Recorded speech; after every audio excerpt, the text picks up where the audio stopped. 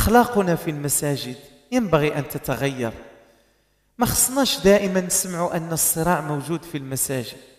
أي مسجد دخلنا له إلا ونجد بعض الصراعات. إلا مسجدكم هذا فإن شاء الله هو معصوم من هذه الصراعات.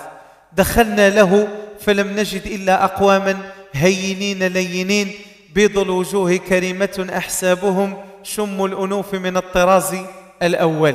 بمعابد الروم كان أذانهم قبل الكتائب يفتح الأمصار. نسأل الله أن يبارك في هذا الجمع وأن يبارك في مجهوداتكم وأن يؤلف بين القلوب وأن يعصمنا من الفتن ما ظهر منها وما بطن وأن يجمعنا بهذه الجلسة المباركة في مقعد صدق عند مليك مقتدر يوم لا ينفع مال ولا بنون إلا من أتى الله بقلب سليم.